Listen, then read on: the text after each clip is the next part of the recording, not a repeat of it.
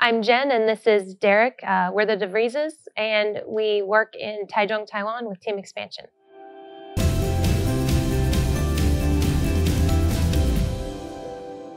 I really feel like young people are some of the most important people with the gospel. A lot of Jesus' disciples were really young. Um, and we've seen the success on our field has come almost exclusively out of high school, college age students.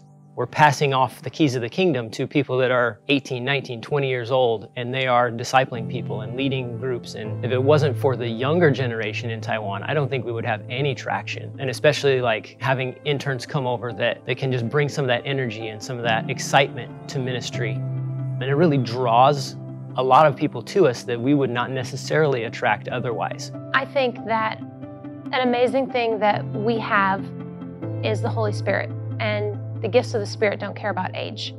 So when someone comes and, and says, Hey, I want to work in a place and I want to do the work for the gospel, they've got the same Holy Spirit we do, and the Spirit gives the gifts to do the work. And so age really doesn't matter. If you want to do the work, then the Spirit's got the gifts and it's going to work for the kingdom. I would say follow God first, no matter what He says. Be willing, be willing to go anywhere, do any ministry.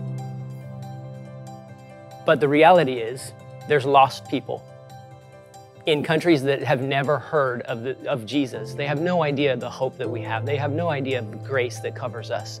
Um, people that are living in just terrible life situations, not because of poverty, but because they're spiritually starving to death. And we have the greatest gift ever. It, it's our responsibility to make sure that those people hear the gospel. A long time ago, we decided to say yes and then ask God, What do you want?